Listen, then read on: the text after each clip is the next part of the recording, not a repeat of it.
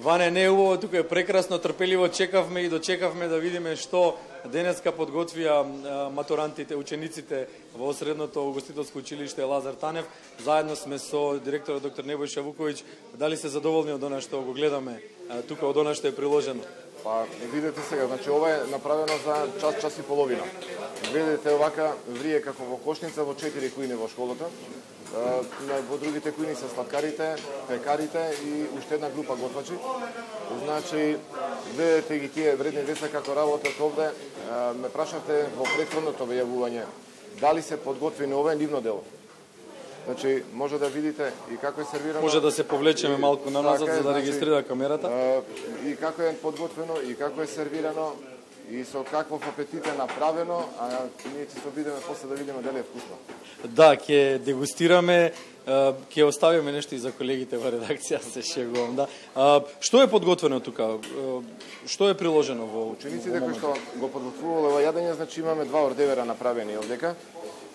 Имаме вариво, имаме шопски салати, имаме риба, имаме виенски шницли. Значи ова е само дел од јадењето, инаку секој ученик добива три прашања, од три прашања подготвува едно јадење, ако имаме 100 ученици денеска 100 јадење и начинот на полагање е таков. Се случува ли некој од учениците да не го положи испитот? Тешко не е прашање. не е за коментирање. 90% од учениците се сноѓаат многу вешно, многу лесно, затоа што три години ги учат јадењата. Ги учат, ги изучуваат и теоретски и практично ги работат и надвор во праксата и не може да погреша. Значи, и се, сите оние грешки кои што за секоја грешка има поправање, знаете. Значи, и ја знаат и начинот на поправање, така да за сат и половина за додека трае испитот се снаоѓаат перфектно и резултатот е веќе. Така. Споменавте во предходното јавување дека Средното училиште Лазар Танев освен а, во стручната насока има големи успеси и во општо образовните предмети. Еден таков успех ваш, е, односно на училиштето, е тука. Така. Ќе се свртиме малку на десно. Тука се Сашо Антониев, професорот по географија и Григори Ѓуровски ученик, кој што е првенец на државно ниво. Прво, професоре, вас ќе ве прашаме дали се задоволни од успехот кој што е постигнат. Не вие прв со години имате вакви успеси. Да, значи секако задоволството е големо, особено кога ќе имаме државен првак во Македонија тука од нашето училиште. Значи Ѓуровски е државен првак за оваа година во категоријата нели втора година стручни училишта.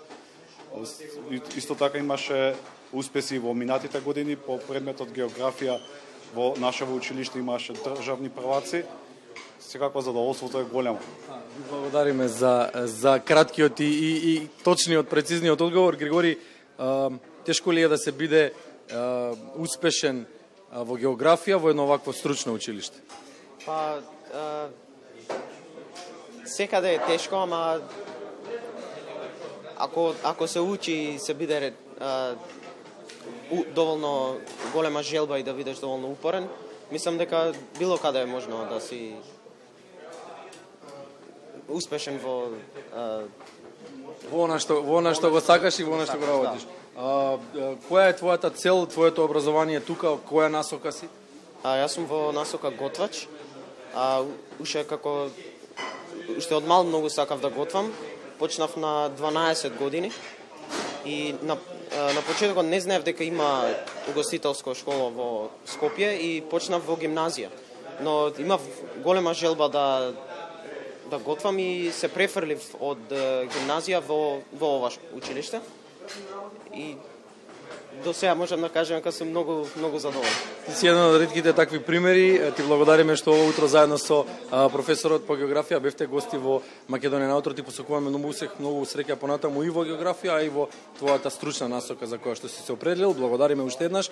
Почитувани тоа беше првенецот по географија, државен првак од Средното угостителско училиште Лазар Тане во Скопје. Се враќаме со директорот доктор Небојша Вуковиќ да го финишираме овој разговор и овие две јавувања денеска посветени на Средното угостителско училиште. На крајот на денот задоволни ли сте од она што го видовте тука и што очекувате? Најавивме дека ќе се обидеме да ги привлечеме младите да се запишат во училиште. Што очекувате во уписните денови?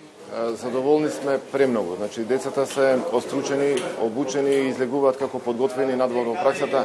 Наша животна цел, професорската улога е да создаде квалитетни работници кои утре ќе може да живеат од таа работа. Значи, ова што го гледаме тука ни дава гаранција дека тоа ќе се случи. Би ги повикал сите ученици од девето одделение да размислуваат за оваа струка, авторитетна, убава, креативна, дава можности во животот, може да се напредува и во сфера на образование и во сферата на професијата може да се работи веднаш после завршување Што е најважно, скоро е загарантирано работувањето по Многу е близко до западноевропските стандарди и по условите на плаќање и по условите на работа. Значи сите можни услови овдека во нашата држава се исполнети за едно квалитетно живење од оваа струка и за тоа повик до сите девет оделенци дојдете овде да видите колку убаво мириса храната. Ви благодариме, директоре. Ване, тоа е причината поради која што малку така пократко ќе го изведеме ова линковско вклучување, веќе сетилата почнаа да работат, ќе мора да се исклучиме и да го дегустираме она што е подготвено додека е топло. Ќе се потрудиме и вам да ви донесеме нешто во македонската телевизија. Ване? Добро, не ми го тргајте колега Грижија Бранко веднаш од од кадар. Чисто Бранко може да резимираме две работи со тебе. Најсреќен и најнасмеан си кога зборува за спорт и за храна. Не мора да ни носиш ништо, важно е да продолжиме да те гледаме вака среќен и насмејан. Тоа е најважно. Поздрав до тебе.